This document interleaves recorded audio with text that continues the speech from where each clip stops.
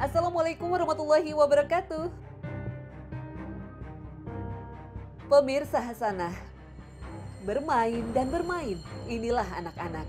Dan memang di usia ini, waktu anak-anak lebih banyak untuk bermain.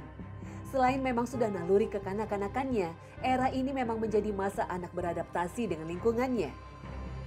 Karena usianya yang masih dini dan berpikirnya belum sempurna, maka mereka pun belum mendapatkan beban kewajiban menjalankan perintah Allah dan menjauhi larangannya.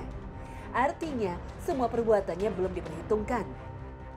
Lalu bagaimana jika mereka melakukan amal soleh? Misalnya beribadah, mengaji, sholat di masjid ikut bersama orang tuanya. Apakah amal solehnya untuk dirinya dan juga untuk orang tuanya? Sebagaimana diyakini sebagian masyarakat.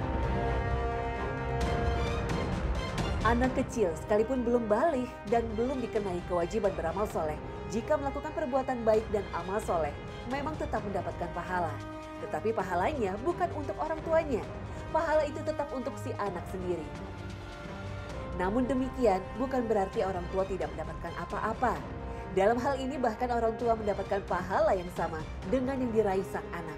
Karena mengajari anaknya, mengarahkannya kepada kebaikan dan membantunya untuk mewujudkan kebaikan itu. Hal ini berdasarkan hadis dari Ibnu Abbas radhiyallahu anhu.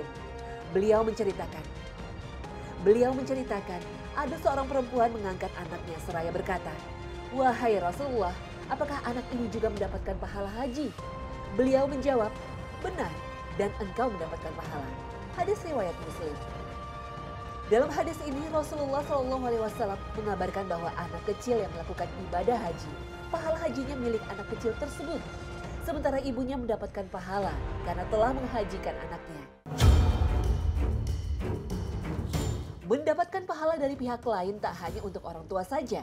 Siapa pun orang mukmin yang mengajarkan kebaikan dan kesolehan kepada orang lain seperti mengajari orang yang ada di bawah tanggungannya, seperti anak yatim, kerabat dekat, pembantu, atau selain mereka. Maka dia akan mendapat pahala yang sama dengan pahala kebaikan orang yang diajarinya.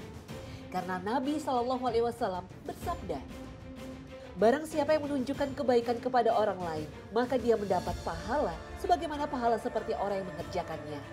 Hadis riwayat Muslim dalam sahihnya. Di samping itu, hal-hal semacam ini termasuk ta'awun atau tolong menolong dalam kebaikan dan takwa. Dan Allah Subhanahu wa taala yang bisa memberikan pahala untuk itu semua. Wallahu a'lam.